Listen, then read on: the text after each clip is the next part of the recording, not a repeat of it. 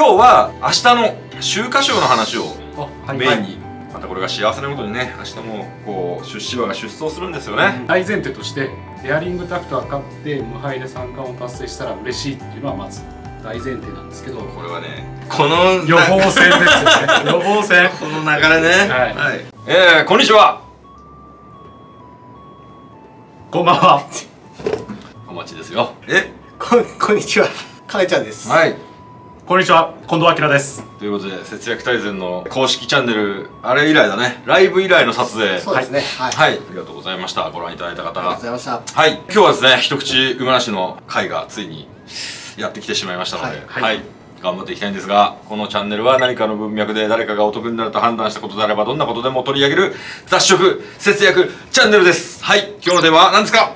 そう一口馬主です。はい。言わせてもくれない。えーということで過去動画でもねいろんな話を毎度言ってますけど金梨が毎回アホなこと言ってますので今日もアホなこと言ってくれると思っております。過去の動画も、えーご覧になってみてください。毎日王冠京都大商店ライブ応援ライブをご覧になっていただいた方どうもありがとうございました。ありがとうございました。はい。おかげさまでですね。はい。なんかね、えー出資馬が僕らの出資馬がはい。同日の重賞をどちらも勝つというね。すごいね。初めて、二頭が重賞勝つうんあの初めてじゃないんだな。馬主歴でグローリーベイズが日経新春杯を勝った時にフィリアプーラがフェアリーステークスを勝つというね。あったのね、もライブの時に話したんだけどねこれ。はい。はい。だからあとグローリーベイズは連れてきてくれるっていうけなるほどね。毎日王冠の前にしたんだよね。そうですね。はい。ただレースを格としては G3G2 じゃなくて今回 G2G2 ですからね。そうそうそれそれ。まあそういう意味ではね。はいはい。非常にあの幸運な週末をね過ごすことができまして。はい。まあ、せっかくね出資馬がこう重賞を勝ってくれましたしね。2レースのちょっと下世話なこっちのこっちの方の話をね。ど。ええ。俺のお話ってことですね。あもうもらっちゃった？もらっちゃった。もうもらっちゃったの？あー100万円もらっちゃったあこれ違うなこれ。100万円だったどうする気はいあの落としどころどうする気？落としどころはないです。投げっぱなしじゃん。はいでこの2レースのお金の話をねちょっと明日の動画でやりたいと思います。どれくらいの賞金をこうもらえそうかなみたいなねで出資してる会員どれくらいのお金がもらえるのかなっていうのをちょっとやりたいと思います、はい。のでそちらもお楽しみに。はい。で今日は明日の秋華賞の話をメインに、またこれが幸せなことにね明日もこう出資馬が出走するんですよね、うん。ええ。プレゼント企画やったあの子ねあそうそうそう、サンキュュートゥエールのサンクトゥエールちゃんが明日も出てくれますので、ちょっとその話をしつつ、ちょっとね、先にね、あのー今話題の金投手の話をしたいと思っていて、これは火曜日ですね、ツイートしたんですけど、あの、はい。金投手をしたいのに、こう、全然させてくれないっていうね、あのアーズローバーが、この間、地流特別、これね、地流って読むんですよ。地元の人しかわかんないと思うけど。はいなので、アーズローバーのこれまたダメだったんですよ。前回もね。前回誰だっけ？あ、コンダクトレスかな？そうですあそう、コンタクトレスの2章クラスのやつ。で、アーズローバーもダメで、今回ですね、あの、また、もう一回ここ、ー写真ですねあピクシーナイトちゃんねそうピクシーナイトが、新馬戦を見事に買ってくれましたので、これ写真がね、シルクは届くんだよね。これですよ今日は、メダル、馬名入り純金メダル 84.3g、JRA 購入価格55万円、会員様へのご提供価格58万2176円。っていうのを、まあまあ申し込もうと思って。これ前、金投資の動画で話したんだけど、ここに書いてありますね。ご提供価格は、えー2020年9月28日現在の金製品取扱業者の税込み買取価格ですって書いてあるんですけど、これでで6906円、グラムあたり。前言ったじゃないですか。なんて言ったっけ、えお得だってそう。もうざっくりと。ざっくりしすぎそのだな。まま買えるからお得だよって言ってましたそうそう、だから、こちらの、これね、これが、えー最近の金のはい。えー税込みの小売価格と、えー買取価格田中貴金属の表なんですけどこれ9月28日現在き6906円ってさっき書いてあったんですけど、でこれが買取価格小売価格は6999円なんですよ小売価格っていうのは販売する価格ってこと？だから普通に田中貴金属に行って金を買おうと思ったら6999円。売るなら6906円。そう。でその6906円で買えるってことね。なのでグラムあたりだからおーわかったわかったわかった。差額でそのまま売っても儲かるってことね。その話をだからしてたんですよ、それはいもあのあこの表が そういうことねと思ってそうそうそう、はい。93円もグラムあたりだから93円得なんですよ。大体100円ずつそうそうそうそう 83g とかだったんでもうだから8000円近く。おー。8000円ぐらい。もうこれだけで得をするっていう話なんだよね。そのままこう買っていいという。そうそうそう、っていうレベルで、えー得をするという話なんですけどっていうのでちょっと今日あの投函してきましたのでまた、えー当たるかどうかっていうのはね勝つたびにやっていきたいですけどちょっと重賞はやらない。純金じゃないしちっちゃいメダルをこう集めていこうっていうそういうこうプロジェクトでございますはい。ということで、えー続きましてのトピックですよ。はい。はい。はい。はいはい。テンション上げてください二人とも。しゃ秋華賞の話をしましょう。あはい。サンクテュエールがね出走する秋華賞なんですけど、言ってましたよね。この間のライブの時。パルフェさんが。はい。ドゥラメンテサンクのあのサンクテュエールの妹ディエベメンテに出資されてるっていうふうにこうおっしゃってましたけど、はい。そのこのサンクテュエールの母ヒルダズ・パッションというのはもうキャロットクラブ御用達の超良血お母さんはい。過去にねジーク・カイザーベルテア・シャフトシェドゥーブルという兄3頭もこれキャロットで募集されてきてましてまあまあまあ前も話したけど吉田というはいハーツクライ3区が、えーアメリカでね外国人の方にあれ？セレクトで買われたの？庭先だったのかな、うんどうそこまでちょっとわからあないちょっと、あ調べない。はい。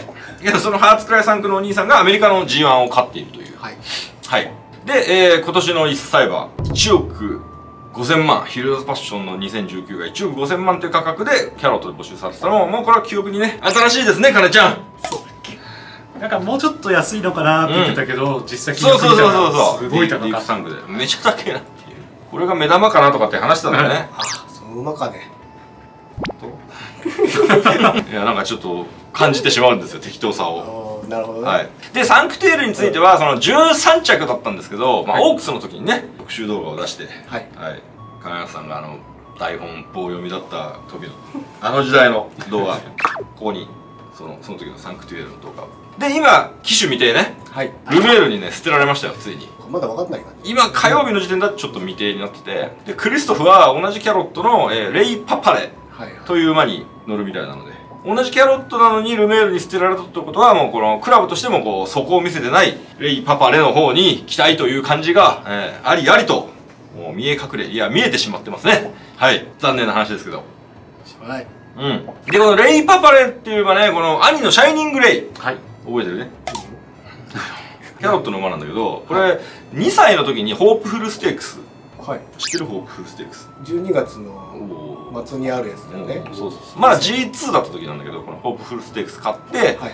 で弥生賞負けてでそこで怪我して2年ぐらい休んでで短距離で復活したんですよ。うん。で CBC 賞。中京のそう。勝ったなっていうよく覚えてますね、なんかレースの発走前にすげえ雨降ってすごかったですね。どっしゃ降りになった CBC 賞を勝った。だってみんなそれ全部覚えてるいや土砂降りだったですよね、のすごいねじゃあねアンカツさんがツイツイートでねあの雨が全てだったなみたいなツイートしてたっていうね。で、えーその母のね、はい。こうシェルズレイっていう馬がこう金子さんの持ってる金子さんわかるね？DV インパクトの。うん。でこのか黒船3区だなんですけど、2006年のチューリップ賞2着桜花賞5着ローズステークス2着秋華賞5着っていう、はい。まあ、そういう成績の馬で、うん。重賞勝ちこそないけど牝馬重賞の常連としてこう結構だから有名ですよね、うん渋い。渋い。でしたね、うん。はい。渋いよね。やめろそのオウム返しこれが金梨和也。ということでね。まあみんなこの方が面白いからいいんじゃないですかね。はい。まあ新しいこと覚えられない。はい。はいで、えー、さらにそのシェルズレイのお母さんがオイスターチケットっていう馬なんですけど、うんはい。金子さんの馬なんだけどウィニングチケット3区なんですよ、渋いでしょ。そうかそうだったんですね、そう。渋くていいじゃないですか。ウイニングチケットの馬は渋いの？ウィニングチケットの馬は渋いね。代表3区はわかんない。でしょ？渋いじゃん。渋いよ。俺も分かんないもん。なんだろう。オイスターオイスターチケットって言っちゃうぐらい渋い。そうですよね。ウイニングチケットの弟か妹がなんかね、あのー、奨学金って英語でなんだっけ？奨学金を英語でうん。あ、スカラシップじゃない？ススカラシップっていたよね、ウイニスカラシッングチケット。プいましたウイニングチケットの弟。そうだよね。ロイあ、ロイヤルタッチがそのなんだ。俺は、俺はなぜウイニングチケットの弟でスカラシップを出してくるんだろうね、まずね。ロイヤルタッチもいるのにね。ロイヤルタッチの方が俺聞いたことあるロイヤルタッチはなんか、皐月賞2着とかじゃなかった？そうですよねあの石野さんでそうそうそうああ、石野さんで、懐かしい大学生の頃だったよね。そう、そういう感じで渋いじゃないですか。はいね、ウイニングチケットの3区。んで、新馬勝ちして、このまま牝馬クラシックに乗ったんだけど、えー、まあまあ全部惨敗でみたいな感じで、はい。オークスで引退してんのかな。でこの血統母父ウイニングチケット、はい。もうこの血統がさしっかりノーザンファームに残ってでキャロットにこう引き継がれているのがこれ嬉しいじゃないですか。もう金子さんのおかげですよ。うん。なんかオイスターチケットってどっか北海道のサマーセールかなんかで買ってきた、はい。なんか安い馬だったと思うんだけどそれをノーザンファームに多分予託で生産してっていう。そうか。金子さんがあそこで買って残さなかったら。そうだからシェルズレイもさ黒ふ黒船なんでオイスターチケットに黒船つけてでシェルズレイじゃないですか、ノーザンファームに残ってるっていうのがもうこれからもなんか嬉しいなっていうそういう話ね。そういう話。全然秋華賞と関係ない話だけどね。はい。で金子さんってさ昔こう内国産種馬をこうちょこちょこ持ってて、はい。ね例えばサッカーボーイサンクのブルーイレブン。ああブルーイレブン。そうブルーイレブンとか東海帝王サンクのカラメルアートとか。ああ、うん覚えてるよなブルーイレブン。当たり前じゃないですか。俺ねカラメルアートって本当金子さんの勝負服を着た東海帝王3区っていうだけでなんかめちゃ強そうじゃん。うん。もうすっごい期待したの覚えてる。なんかおしゃまんべ特別かなんかか勝ったかな。カラメルアートあと2歳の時になんか重賞3着ぐらいあったような気がするけど。あ慶応杯。ああそうそうそうそう。慶応杯2歳ステークそうだよね。3着。3着ね。ね。おおしゃまんべ特別。おしゃまんべ特別買ってますよブルーイレブンもなんか印象的でした、ブルーイレブンは重賞勝ってたよね確か。結構気性が悪かああったイメーそうそうそう。ジでしたそうっけ？そうそうあ関谷記念か。関谷記念とあとトースポ杯もかってね。サッカーボーイ産駒だけあってやっぱ長い直線が得意なんですよ。まあまあまあまあそんな感じでね。はい。でカラメルアートのさ妹にラテアートっていう馬がいて、はい。サンデーレーシングだったのでそのラテアートの子をよくサンデーで募集されてるんですよ。なるほうん。そのお母さんラテルネっていう馬でラテルネに、えー東海帝をつけたのがカラメルアート。で桜爆心王をつけた妹がラテアート。今の2歳でいましたね。なんかもう新馬勝ちしてた子とか。どあもうすでに買ってそうラテアートの子いるへです。もうサンデーで募集されてる、まあ、これもねそれを見るたびにあーカラメルアートを思い出すなっていうそういう話でございます。なるほど。はい。ブラックラテかな。ブラックラテ。ブラックラテがあそう。みんなラテなんだねまあ週刊賞全然関係ないけどねなんかレイパパレだっけ？レイパパイレイパパレを見ただけでなんかそういうのがパーッとこうね。ということでね、えー、2人の週刊賞の見解も聞いておきたいなと。聞いちゃいます？もう決まってるもん俺今日おデアリングタ。でしょうね！リアメリアと、うん。さっき出てきたレイうん。パパレ、パパレ。うん。でサンクトゥエルちゃんを入れて、うん。タレプクででサンクトゥエルちゃん来たらちょっと美味しい。いやいいねそれしか買わない。よ全く面白みのないバケだな相変わらず。そうですよね。なな面白みデアリングタクトがなんか固定うんって感じがして、だから3連単1着に固定できるそうわけですそうですああと3と今上がったんでもう3連単だったら6点になるだけだから。あそんなにうん。あれ？そっちの方が美味しかったりする。3連単6点勝負？はい。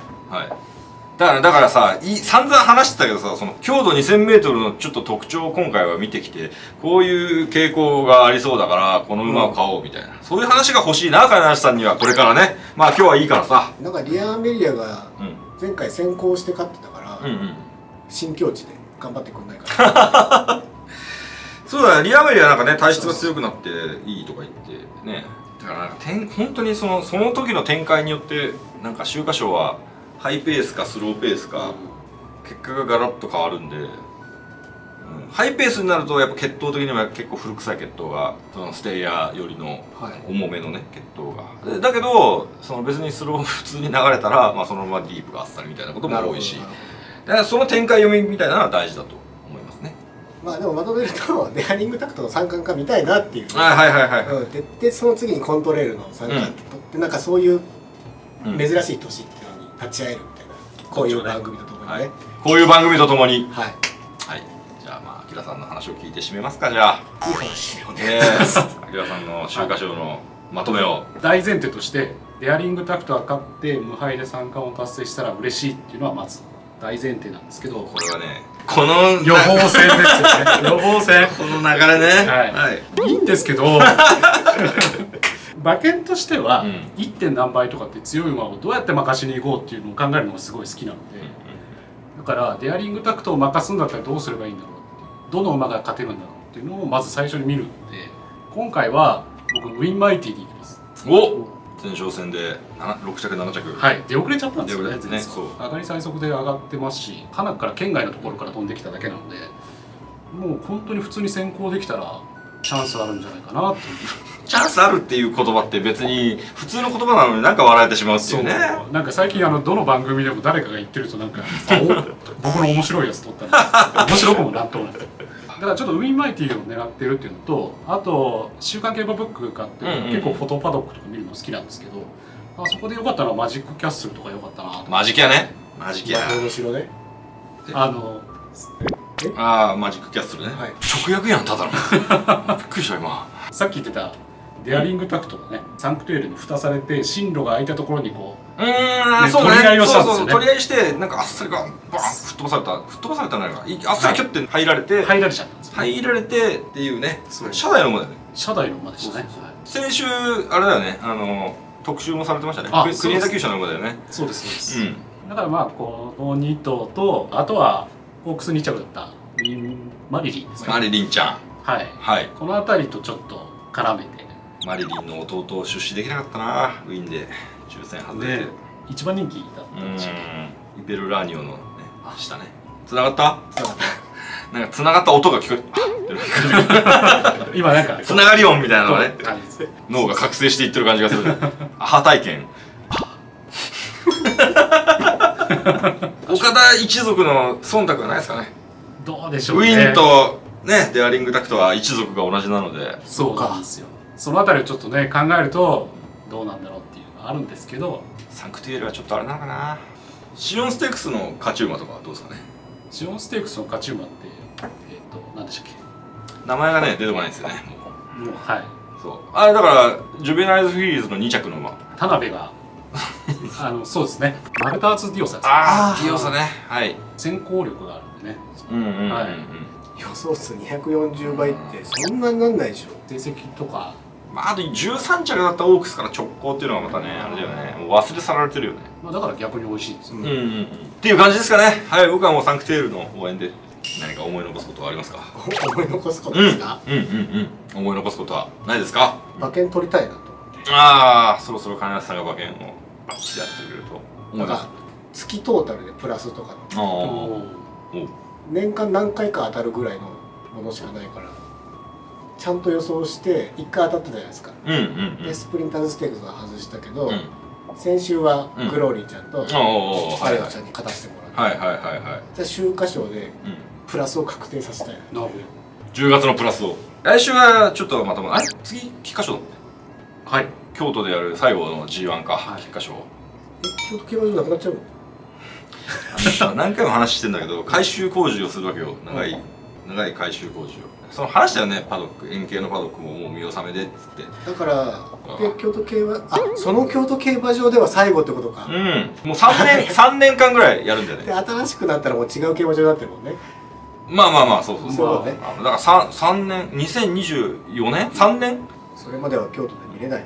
いちいち説明するから動画が長くなるんですよ。はい。ということで今日の話がちょっとでも面白かったらぜひ高評価とチャンネル登録をよろしくお願いします節約大全公式チャンネルではお金にまつわるいろいろいろ頑張いろいろな頑張る話広い意味で節約と取れる話題であればどんなテーマでも取り扱っていますのでぜひ再生リストもご覧になってみてください。